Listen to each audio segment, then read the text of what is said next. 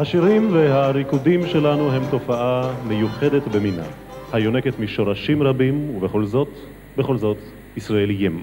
והשורשים רוסיים, תימניים, כורדים, חסידים, אפשר לומר ממש שעטנז כשר. שילוב של הדבקה והדיבוק, אם תרצו, עיקר ערבי, רועה בדואי, יהודי חדש, תלמיד חכם, רוק וקבלה, וחלוצים שרצו לקפוץ בדור אחד אלפיים שנה ולהיות רועים ועיקרים כמו בימי המקרא. ריקודים ושירים עבריים ותופים מזרח תיכוניים.